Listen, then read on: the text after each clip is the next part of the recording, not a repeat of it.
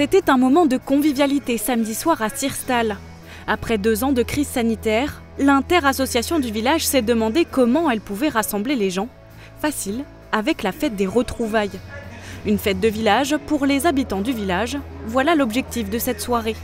Au programme, musique avec les stars locales, restauration, exposition artisanale ou encore atelier foot le public a répondu présent. Une belle soirée pour renouer des liens.